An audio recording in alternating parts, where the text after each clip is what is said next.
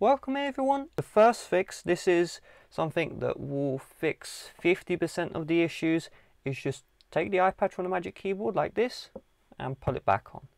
Now if you have an application which was glitching out, you know when you're swiping it only works when you release, you may need to go to the multitasking, close out that app and then reopen it.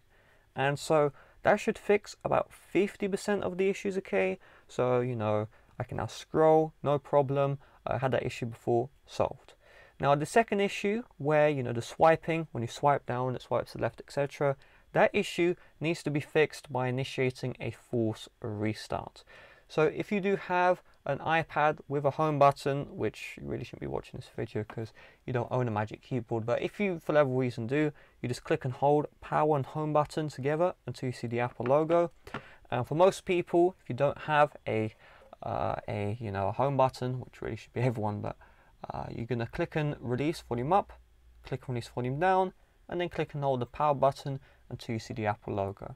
Let's do this together because this is a it looks hard it looks easier than it actually is.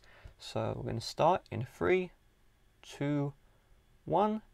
Click release volume up, click release volume down, click on the power button, and I keep this one held down until you see the Apple logo. You can initiate the force restart while you are in the Magic Keyboard case. It's just more convenient for me to take the iPad out of the case. And if you accidentally, you know, release the power button, you will need to repeat the key combination. And when you see the Apple logo, you can release. You may want to go to the software update, check for an update every now and then. Okay, because uh, software update is most likely going to fix your issues. But you can see I am on the latest iPad OS, so that's just how it goes. You may even want to consider a beta of iPadOS. Okay, this is there's no new betas at the time of recording, but in the future there may be a new beta, so keep that one in mind. Uh, with that being said, thanks for watching. See you guys later. Bye bye.